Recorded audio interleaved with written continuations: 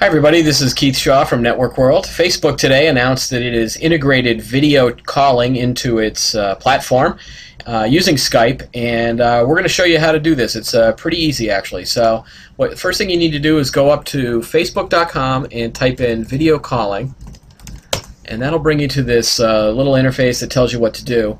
Click on the Get Started button, and basically it just runs through here. It asks who do you want to call, and your chat window pops up. Uh, so I've uh, got my friend uh, Shane O'Neill. He's uh, an editor at CIO.com.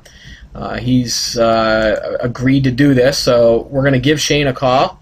And basically, after you pick who you want to call, you just click on this little video calling thing. And what it does is if you haven't already installed the plugin, it'll install a quick plugin into your browser, and then it'll help make the call the person receiving the call will then get an alert asking them to either install the plugin themselves on their browser or it will uh, just connect the call. So uh, Shane is actually right next to me uh, on another computer that we've already installed the browser on. So hopefully this is what it's going to do. It's going to tell you who's already set it up. We're like, okay, we don't really want to talk to those people.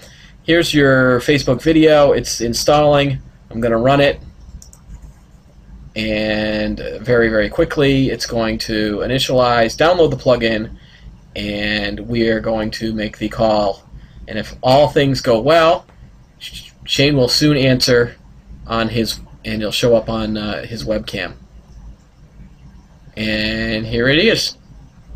Hi Keith. So now I'm seeing oh there it is. I'm seeing Shane.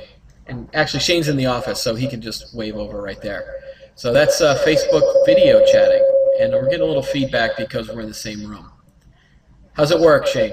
Looks good. Looks really good. All right, and that's it. Facebook video calling. See you later. See you later.